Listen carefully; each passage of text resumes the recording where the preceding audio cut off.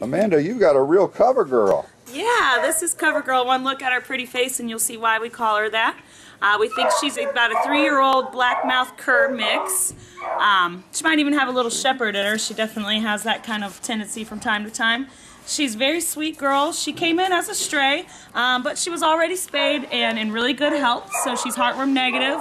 Teeth, ears, and eyes, skin all look great. She actually goes into play groups that we do here at the shelter and uh, gets along great with all the other dogs. Is um, got got manners when she's with others. Uh, she's a very sweet girl, great walker, and uh, she's pretty easygoing. Great personality, huh? Yeah, I mean, she does get a little timid and shy when she sees new things. Like right now, I think she might be a little nervous of the camera. Yeah, but, yeah. But uh, she's she's a really good girl.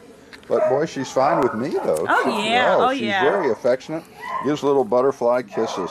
Yep, she uh, she comes out and greets all of our dog walkers. Um, you know, likes and plays well with all the other dogs, so she'd be a great candidate if you already have a dog and you want a second one, or um, if you live here in Fernandina Beach, you can, or in close, you can take advantage of our dog park. That's right. You get a free membership for a month if you adopt one of our great NHS dogs. Yeah, she's really well socialized, so she would fit into that group really well. I have a blackmouth cur, and she is so well house trained, and so I'm I'm betting uh, that this young lady either is or would be easy. I think she is too. You know, she's three years old, so she's over that kind of puppy stage.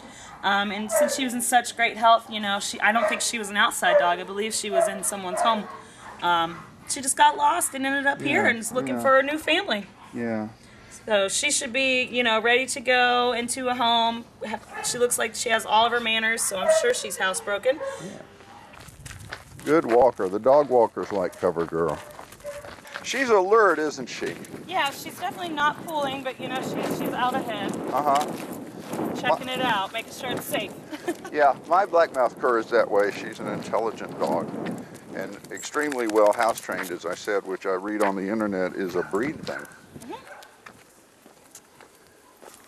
And my dog walks very well. I give her a little, um, you know, a little area to roam, but she stays with me, and Cover Girl is doing the same. Yeah, Good girl. It's a good girl. And, and you think she'd be a good family dog then? Uh, yeah, you know, um, I don't know how many, what ages of the kids she's been exposed to, but she doesn't note any fears towards that. So, yeah, she, you know, she's uh, she's uh, what medium size. She's she's not a small dog. she's about 50 pounds. Uh-huh. Yeah, I would just say, you know, bring the whole family along um, when you do come and meet her. Right. Um, And she is fully grown, of course. Yes. Will you please come see her? She is a sweetheart. This is our cover girl. You'll see why if you'll come meet her at the Nassau Humane Society, 671 Airport Road in Fernandina Beach, right across the street from the city airport. Please come see our beautiful cover girl.